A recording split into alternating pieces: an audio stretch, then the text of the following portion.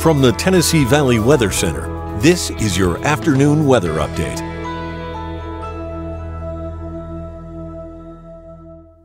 Good Thursday afternoon. I'm Kelli Rosson here in the Weather Center with the Check It Your forecast. We are talking heat today, as well as the potential for a few strong storms later on this afternoon. All those details here in this weather update. You can see this storm complex over into Missouri and Illinois. That is what we are going to be keeping an eye on as we progress throughout the next several hours.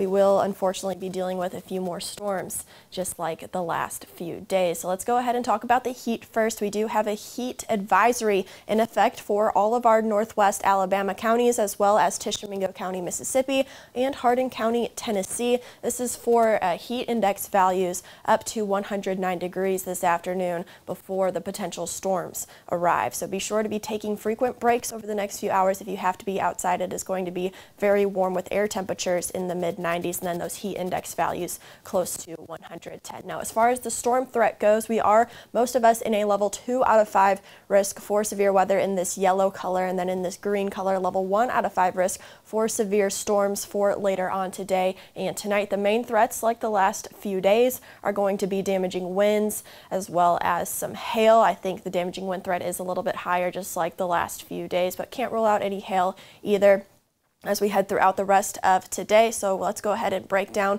what we can expect on Futurecast. About 2 p.m., you see a few storms off near Interstate 65. However, I do think they could extend a little bit more westward this afternoon and they will continue to progress southeastward as they do so. And then we could see some redevelopment later on this afternoon and evening, but that is going to depend on how far west that initial line of storms does extend. So we will keep an eye on that if it works over the atmosphere or if we do expect several rounds of storms. We will keep you guys updated as we head throughout the rest of today. And again, temperature is going to be very warm for today. And then for your Friday morning, we could still see a few rounds of storms overnight and even to start off your Friday morning with the temperatures in the 70s. And then we are expecting a few rounds of storms for Friday as well as this cold front. The good news is, is that cold front that has been uh, firing off some storms off toward northwest, bringing them to our area. It's going to be finally approaching us, unfortunately going to mean a little bit of a stormy Friday, but after we get through Friday,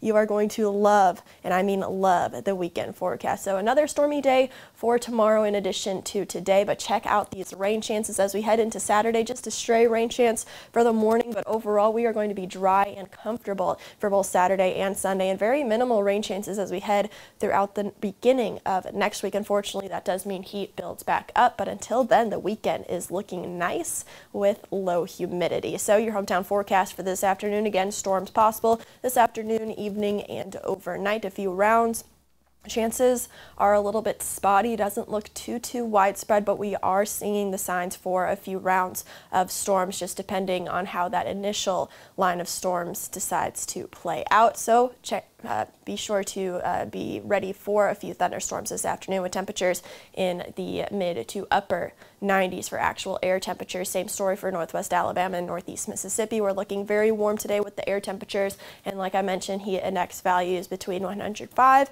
and 109 degrees. Here is your seven day forecast from the Tennessee Valley Weather Center. After we get through Friday, a stormy afternoon, evening, and overnight is in store, but then by the time we get to the weekend, check out these temperatures mid 80s and the humidity is also going to be quite low. So it's going to be very comfortable Saturday and Sunday as well. But then the heat starts to build back up heading into Monday. We make it back to the lower 90s by Tuesday with maybe a stray rain chance. But overall, we're looking pretty dry for now heading into next week. Of course, there's still plenty of time for that forecast to change.